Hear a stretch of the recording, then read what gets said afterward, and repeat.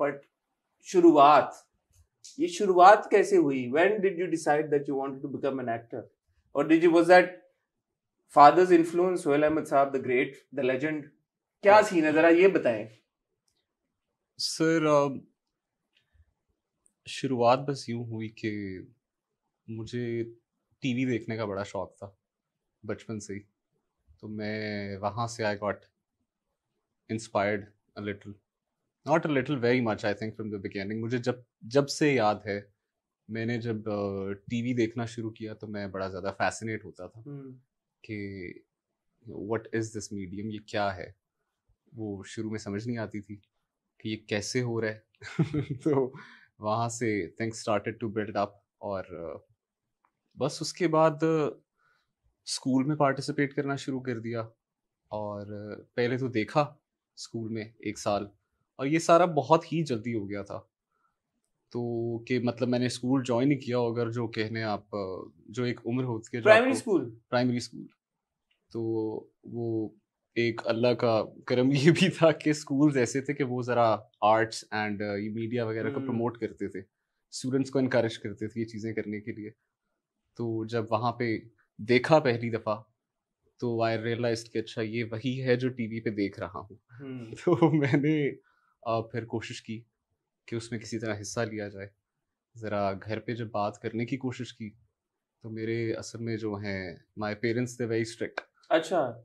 Well not any more but वो बचपन में बड़े सख्त किस्म के मेरे हाँ। वालदेन थे। अब एकेडमिक्स को लेके। कि पढ़ाई पे ज़्यादा फोकस करो कि पढ़ाई पे ही फोकस रहना चाहिए तो तो मैंने जरा हल्का सा छेड़ के देखा बात को तो किसी ने हाथ नहीं पकड़ाया। तो फिर मैंने छुप छुप आके कर लिया उसमें पार्टिसिपेट और बल्कि मैंने पहले भी एक दफ़ा ज़िक्र किया था कि मैंने फिर अम्मी अबू को भी उधर बुलवाया। अम्मी अब्बू को मैंने बिल्कुल लास्ट मिनट हम मैंने उनको इनवाइट्स दिए जो स्कूल की तरफ़ से थे। और फिर वो आए उन्होंने देखा। बस फ्रॉम देयर ऑन देन वो चीज़ बिल्ड होती गई। व्हाट रिएक्शन ये याद नहीं है। हाँ। वो खुशी होंगे। नहीं अब्बा ने बोला कि हाँ ठीक है पुत्र नज़र आ रहे हैं नहीं आ, सर ये बड़े लोग इस चीज़ को ना मानते नहीं है, बड़े लोग इस चीज़ को ना they don't believe it when I tell them मतलब मेरे, जिन लोगों से मेरी मुलाकात भी होती है except for my very close circle जिन्हें सब पता है, जो घर आना जाना, जिन दोस्तों का और जो मेरे अम्मी अबू को जानते हैं, जो हमें हमें जानते हैं अच्छी तरह, उनको इस बात का पता है कि मेरे जो वालिद साहब थे ना ही did not want me to get into this वो एक मेरा ख्याल है शायद सारे एक्टर्स जो होते हैं वेटरन एक्टर्स या जो थोड़े सीनियर आर्टिस्ट होते हैं, जब उनके बच्चे आते हैं तो आई थिंक वो एक नेचुरल एक स्केयर होता है कि इसको कहीं वो शौक ना पड़ जाए। अब मैं जिस तरह आपको अर्ज़ कर रहा हूँ कि मैं वारिद साहब से बड़ा शदीद खौफजदा था तो मैंने कभी एक उनसे ओपन कॉन्वर्सेशन नहीं कर सका। बट जैसे जैसे बड़ा होता गया तो ये चीज़ समझ आती गई कि अच्छा ये एक ऐसा डिसीज़न है जो मुझे बड़ा सोच समझ कर लेना है।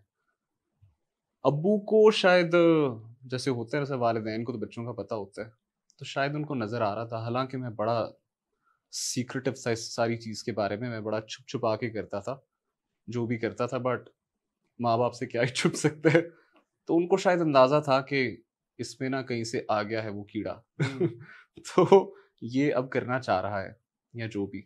बट कभी भी we never had an open conversation या कभी भी उस बारे में वो होता है ना एक कॉन्फ्रंटेशन हुई हो नेवर तो बस वो मुझे बड़ा एक सोच समझ कर ये फैसला करना पड़ा जैसे जैसे वक्त के साथ साथ उम्र बढ़ती गई और तो all this while you will trying your hand at like school plays university क्या क्या चल रहा था इन दिनों में सर स्कूल प्लेस थिएटर होता था हमारी स्कूल्स हाँ. वगैरह में और फिर आहिस्ता आहिस्ता जब मैं मिडिल स्कूल में गया तो फ़िल्म मेकिंग वगैरह के कॉम्पिटिशन होते अच्छा. थे अच्छा तो and you were actively actively participating in all of that मैं तो सर मतलब एक स्पोर्ट्स होती थी और दूसरा ये होता था। अच्छा। हम लोग फुटबॉल खेलते थे फुटबॉल टीम वगैरह में थे और दूसरा ये शौक था। बट मुझे मेरा एक दफ़ा ना कोच ने एक साल सेलेक्ट नहीं किया टीम में। तो मैंने उनसे बड़ा खिला किया। शायद बेहतर प्लेयर्स आ गए थे हमारा स्कूल जरा काफ़ी इनटू हाँ। स्पोर्ट्स था काफ़ी बड़ा था। तो कौन सा स्कूल था? ये जिधर फुटबॉल भी हो रहा है जिधर फ़िल्म मेकिंग भी हो रही है। ये था Beaconhouse defence campus Lahore Lahore वाला ओके जी। तो बीडीसी जो था वहाँ पे ये सारी चीज़ें बड़ी लोग विग्रेसली करते हाँ। होते। थे बच्चे भी पार्टिसिपेट मैं भी बीकन हाउस से पढ़ूं साडी वाली देखो जी नहीं मतलब हमारी बारी तो अच्छा है नहीं that's a different college BDC में थी एक्स्ट्रा करिकुलर्स को वो काफ़ी अच्छा, पुश करते थे। सो so, um, एक दफ़ा मेरे कोच ने मुझे कह दिया उन्होंने कहा कि यार कुछ नहीं होता अगर नहीं सेलेक्ट हुए। जब ये बात हुई हाँ। कि सर आपने सेलेक्ट नहीं किया तो कहते हैं यार कुछ नहीं होता नहीं सेलेक्ट हुए।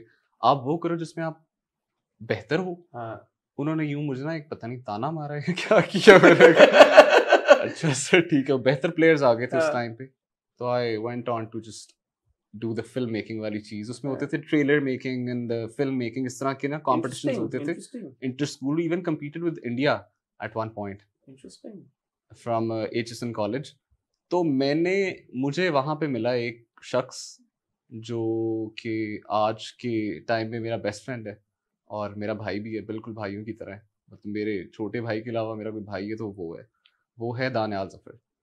तो दानियाल और मैं हम मिले यूँ एक कॉमन इंटरेस्ट पे कि अच्छा आए फिर ये इकट्ठे कर लेते हैं आपको भी शौक है मुझे भी शौक है आए मिलके बना लेते हैं। हम्म तो तो कैसे वो मुलाकात कैसे पहली कैसे हुई थी? सर दानियाल जो है ये मेरे पास आया था कोई स्कूल की ना ब्रेक थी। अच्छा। तो दानियाल यू मेरे वर इन पास द आया। Same school we were in the same school Beaconhouse defence Beaconhouse defence हम बचपन के दोस्त हैं।